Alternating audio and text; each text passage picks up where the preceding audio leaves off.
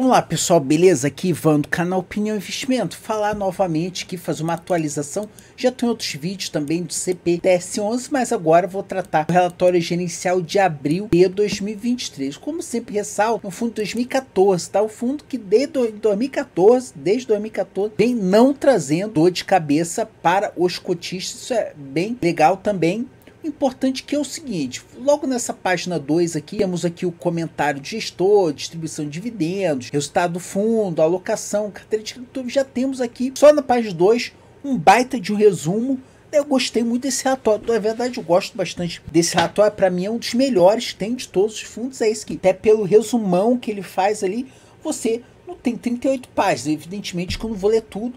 Eu tô aqui para pegar das 38 para aquilo que interessa para você, para você fazendo você não perder tempo, você não precisar ficar pagando relatório por aí, beleza? Portanto, eu peço aí para você se inscrever no canal exatamente por isso. Você não precisa pagar para ninguém. Aqui é tudo de graça. As notificações, se tiver dúvida, Deixe aí nos comentários. Também posto todo dia vídeos curtos também, cursos vídeos curtos, chamados short. que interessa aqui? O que ele fala? Temos observado um aumento substancial nos casos de default e pedidos de carências. Dá ruim, né? Deu ruim, não tá, tem que adicionar garantia. Acreditamos que CPTS possui uma carteira resiliente suficiente para passar por este momento sem percalço. Uma carteira bastante né, diversificada. Ele fala que do aumento, que no mês de abril uma melhora no quadro atual, vários fundos imobiliários subindo e tal. Ele tem, tem uns centavos por cota, já vai olhar o histórico de dividendos. Ele tem, o pessoal reclama muito disso aqui, ó. Ele tem um IP o do ICRIs, né? Tem uma, fora de crise uma taxa média de PCA mais 6,65. Na verdade, não é isso que ele paga, aquilo que ele foi comprar. Na verdade, ele está pagando mais aí pela marcação mercado. Mas o pessoal fala que é, o spread é pouco.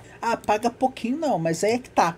Ele é um fundo high grade, não é um fundo high yield tipo HCTR, Ford 11, Deva 11, que de vez em quando dá ruim, cai o preço, cai a cota, cai o dividendo, aí a coisa fica meio complicada. CPTS pode se chamar de fundo híbrido, porque ele tem 64, 67% em CRIs e 30% em fundos imobiliários e um pouquinho só aqui em caixa, CDI mais 4, enfim, ele fala media duration, né, 5.8 anos, prédio médio, aqui o porta aqui o que eu gosto mais, o LTV médio 60,57%. O LTV é bom, razoável aqui, eu sempre coloco que o ideal seria 50%, mas aqui não está ruim. Aqui os fundos imobiliários 33% em urbana, 25% em logística, 21% em lajes corporativas, que os cinco maiores fundos, né, GTLG, HSRE, TRXF, HBRH, COP11, enfim, aqui também são contratos atípicos ou, ou, não. Dando uma olhada aqui no Status Invest, é um fundo que está tá com PVP de 0,91. Considero bom,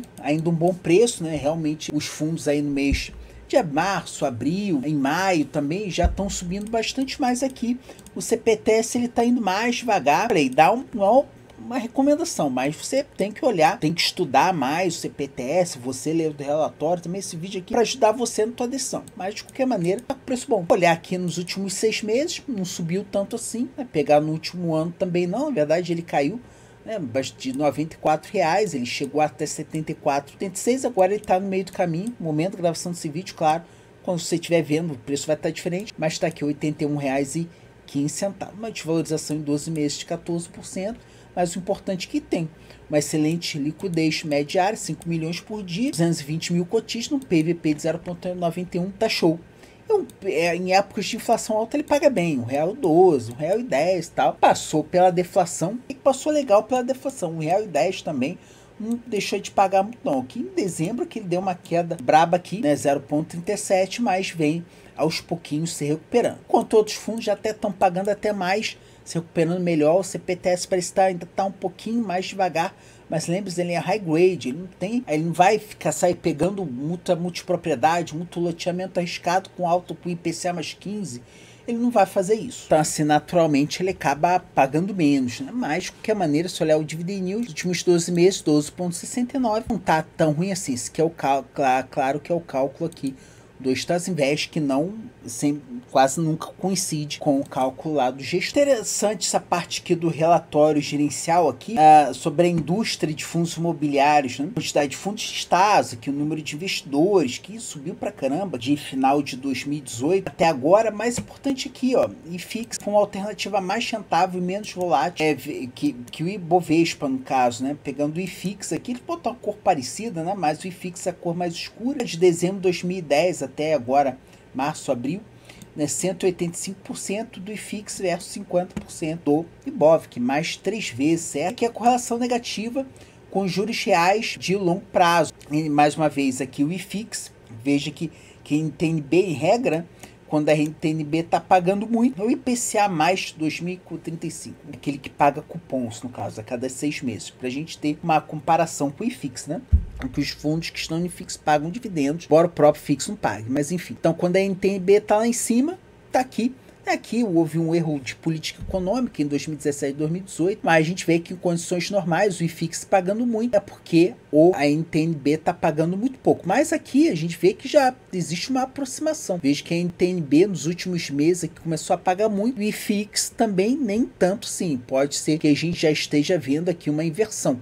Né, que a NTNB possa pagar mais do que é o próximo. Vamos ver aí nos próximos relatórios gerenciais como vai estar tá essa questão. Mas o dividend yield do IFIX tá, a boca aqui do, do a boca aqui tá, a diferença tá bem grande. Se for considerar aqui, é porque ele botou até setembro de 2022. Realmente Uh, no geral, aqui tem o yield do IFIX, digamos assim, ele paga mais, em regra, o dividend yield, né, do que uh, o IPCA 2035. E aqui vem a carteira de crédito, né, o portfólio bem distribuído aqui por segmento. Eu gosto dessa diferença, quebra aqui por segmento. Fiz um vídeo também anterior a esse sobre o CVB11, ele faz a mesma coisa também. Então temos aqui o comercial é, com relação à porcentagem dos ativos total em 5% do, do portfólio inteiro. Né? Com relação ao LTV, vários aqui, dois aqui abaixo de 50, dois acima, um de 68, um de 70, que tranquilo, média 68, tá ok. Pela porcentagem, tá tudo bem, 5%. Varejo, 6%,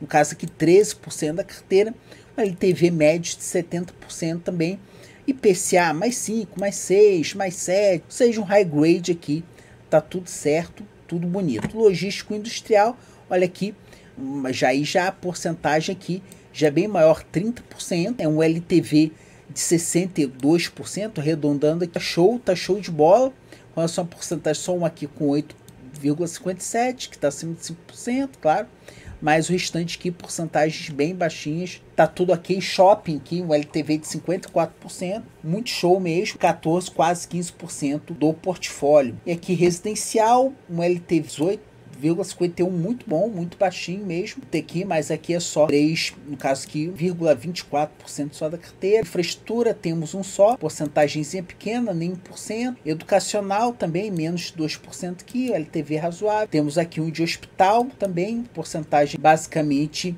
irrisória. Então, o grande foco aqui realmente é o logístico barra industrial, que também Tá show de bola, 30%, tá bem diversificado. Com relação aos fundos imobiliários, a maior posição tem menos 3%, as quatro primeiras posições aqui, uma delas tem todos abaixo de 3%. Também gostei bastante, gostei bastante dessa diversificação também. E aqui a partir da página 22, eu vem falando só se há mais X%, das garantias e tal, LTV, aí é um por um, aí cabe a você decidir se você vai ler ou não, é bastante coisa. Como já falei, tem outros vídeos aqui do CPTS11, já deve estar vendo na tela final os últimos dois para você acompanhando a evolução do fundo. Beleza, pessoal?